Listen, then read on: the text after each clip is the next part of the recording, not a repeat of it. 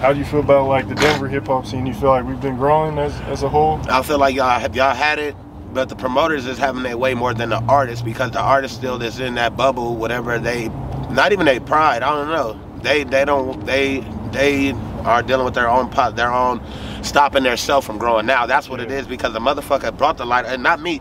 It's other people in this world that done brought the light out here. They came and opened their eyes to see what's going on. Drake then gave y'all the alley oop. Drake then told the whole world y'all had the baddest bitches, nigga. No, Like, that's the hottest, oh nigga, and the telling y'all y'all got the hottest bitches. So it's up there.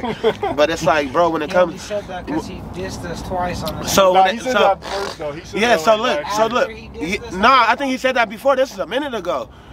Are So Yeah, but he only came out here one time, and that was at Red Rocks when he was. So- You know, so look, Trip, Trip. Look, about the music scene, but the music scene out here, the music scene out here, the promoters then became rappers out here. The promoters just throwing these shows and having more popping shows.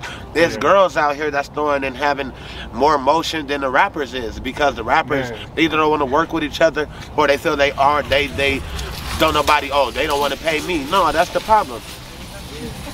If you want somebody to pay you, you just because the motherfucker ain't paying you, don't mean you ain't got. Y'all take from yourself for real. Me, I don't give a. F- if I got the bread, I'm gonna pay that. I'm gonna pay that man because I want to hear us on this song and I feel like it's gonna grow because I care about my craft. yourself, for real. But out here, a motherfucker want to do a song with you, but you tell them they got to pay that that price. They want to look at you like, oh no, nigga. Just because your shit ain't getting bought, don't mean the next nigga ain't paying me for features. Do you Right, know I'm getting? exactly, facts. So it's like when it buckle down, it all comes from a motherfucker taking it from themselves because this shit can be. It's motherfuckers coming out here for a reason. Y'all finna have a show out here. DW Flame coming out here. TZ, Pookie F and Rue throwing the show. Right. They don't even know the Pookie F and Rue, but it, Rue is. He throws the biggest shows in California. He throws the biggest shows. But that's what I'm saying. It's people that come out here that knows what's going on, but y'all be taking from yourself by not tapping in. that's it, bro. It's it's not a gang bang world, bro. It's really artists out here, and it's Right. like everybody gang bang. But that ain't the that ain't what you gotta. That's you ain't gonna get noticed from that. You better put your flag in your pocket and get your ass up here and talk some money. No, Don't nobody want to give you no money because you know to talk about some gang banging shit. They want to. You got to be a brand. You got to let these people know that you're going to make money with off the money they're going to give you. Right. So when that shit comes to that, bro, people take from themselves.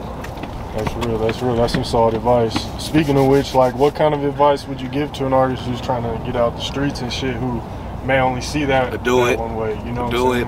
Well, you know, you your only, you your biggest battle. You your biggest, you know, enemy. You your biggest motivation. So, if you're trying to get out the streets, it's hard to get out the streets, or it's hard to balance the two. Yeah. But once you pick your time to get out the streets and then go back at the same time and move your, you'll be all right. Trust me, you'll be all right. Don't let these niggas fool you. I was fooled for a minute. That's real. What That shit. one piece of advice you give an artist now that you know what you know, given the past couple months and all the invest in yourself. like invest in yourself. Save your money and invest in yourself. Pay for that studio time. Pay for that cameraman that's really doing that cares about his craft. Right, right. Invest into the artist that's up there. Don't think that you just giving the next nigga some money. No, because somebody want to hear that shit. They tired of hearing you rap with the nigga from around the corner. Invest. Go holler at these niggas out here, bro. No, These niggas out here accepting this shit.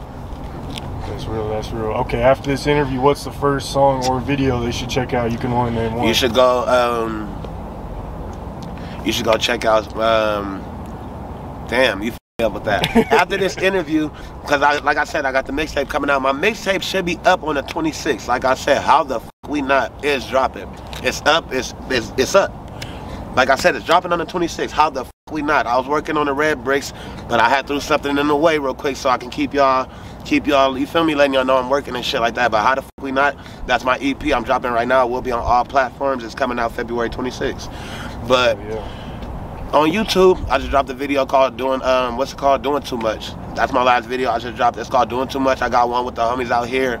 Me, EK, you feel me? Me, my nigga Hit a Braids, and uh, my little nigga TYG Active King. You feel me? We got the song we just dropped called Pull Up. That shit out right now. Man, it's loads of shit. Just type in. S K R A M Z. That's it. Just go with me. If there was one artist like all time you could be on a song with, you could only pick one. Who would it be? Lil Wayne.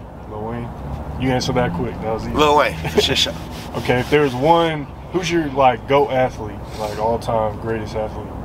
Kobe. Kobe. Same here. Yeah. Kobe Bryant. But if we was talking like different sports, I'm gonna say Mike Tyson at, at the same time. Tyson, Okay. Uh, You feel me?